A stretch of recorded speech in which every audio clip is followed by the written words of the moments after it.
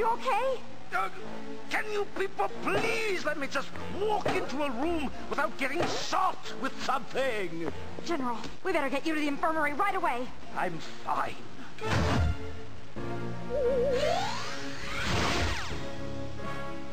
What's happened to my hands? Uh, well? What's going on? Where's a mirror?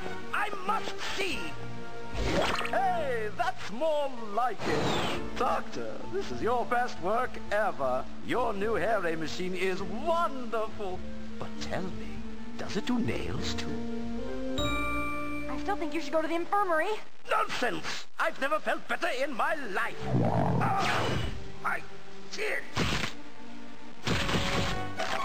What's happening to me? You're... evolving.